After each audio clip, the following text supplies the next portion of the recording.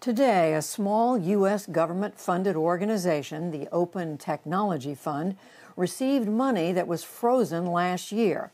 Referred to as OTF, it advocates for internet freedom, the kind of freedom that was cut off last week by the Myanmar military and restricted by governments, including China, which banned the BBC yesterday, and Iran. Nick Schifrin reports on how the battle over OTF's funding was a symbol of Trump administration turmoil and how this small group wages a global war.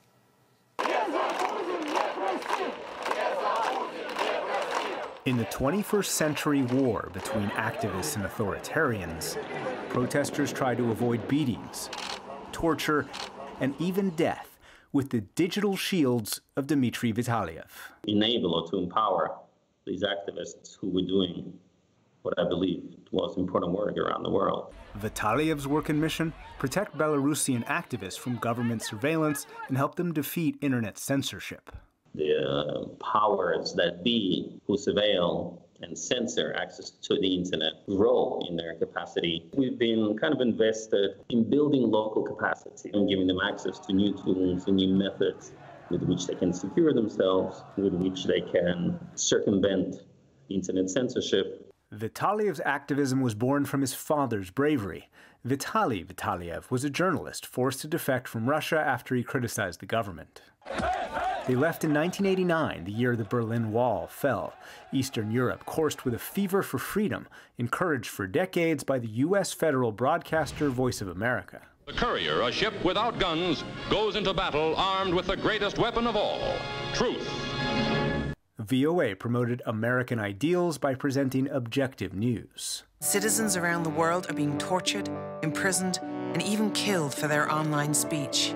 Today, VOA's digital descendant is the Open Technology Fund that promotes American ideals by maintaining internet freedom. Its budget only 20 million, its staff only 11. But OTF funded the technology that became Signal, and Signal's technology now powers Facebook Messenger, Skype, and WhatsApp for more than 2 billion people. OTF technology is on two thirds of the world's phones. OTF also funds Vitaliev. Uh, these type of activities, this type of projects are very much in line with uh, American principles, democracy, freedom of speech, human dignity. And it is in the interests, I believe, of the United States to continue to support these kind of efforts. But then arrived Michael Pack. That I want to clear out the, prob the problems in the agency, both the mismanagement and the bias. Last year, Pack became CEO of the U.S. Agency for Global Media, which oversees federal broadcasters, including VOA, and funds agencies, including OTF. He targeted the very government employees he led, pushed on by President Trump. Have you heard what's coming out of the Voice of America? It's disgusting.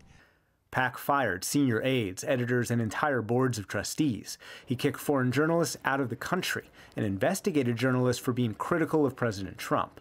He withheld OTF's congressionally mandated budget, leaving his own soldiers on the battlefield temporarily defenseless. From one day to the next, we have to, you know, stop your funding.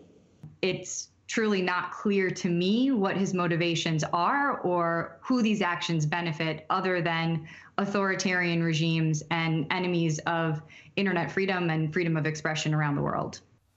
Laura Cunningham is the CEO of the Open Technology Fund.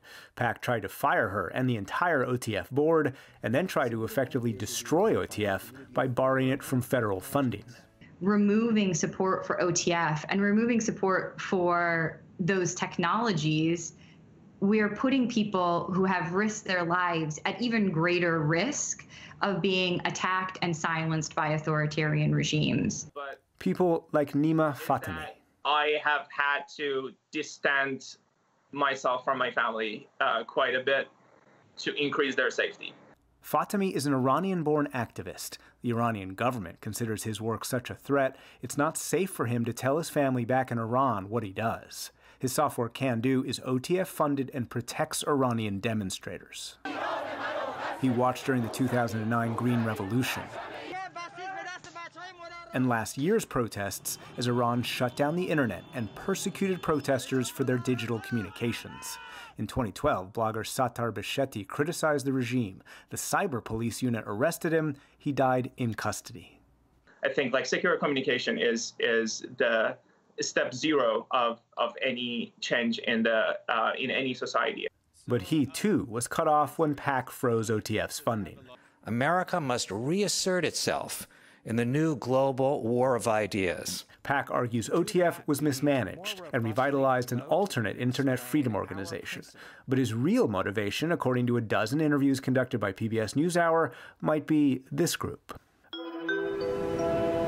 The Falun Gong opposes the Chinese Communist Party. To circumvent Beijing's Great Firewall, it funded technology called UltraSurf. It was backed by an unusual consortium of Pack and Trump allies. OTF's predecessor declined to provide funding, and UltraSurf refused to submit to OTF vetting. But in November, Pack signed a contract to fund UltraSurf with up to $2 million.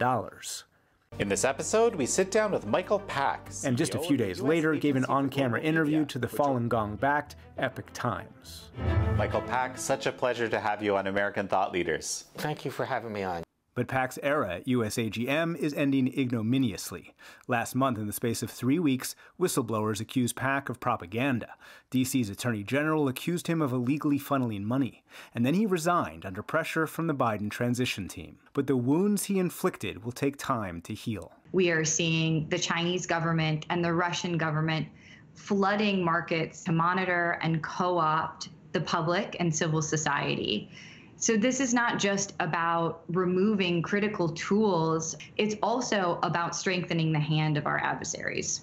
Those adversaries are watching, trying to censor and control. Campaigners urge the U.S. to continue the fight for internet freedom so activists and not authoritarians can hold the future in their hands. For the PBS NewsHour, I'm Nick Schifrin.